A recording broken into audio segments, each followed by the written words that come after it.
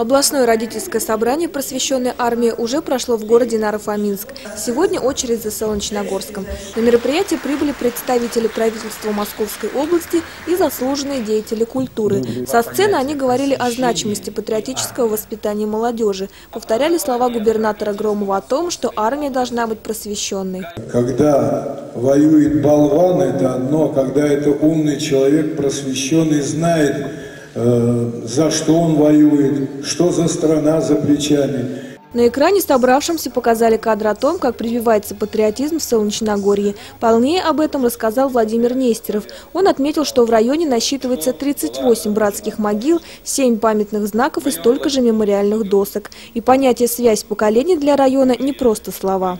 Ученики школ и 9 военно-патриотических клубов ухаживают за этими могилами павших воинов. Это и есть связь поколений. Поднявшийся затем на сцену депутат Московской областной думы Александр Жаров отметил, что все может меняться, но армия обязана быть крепкой.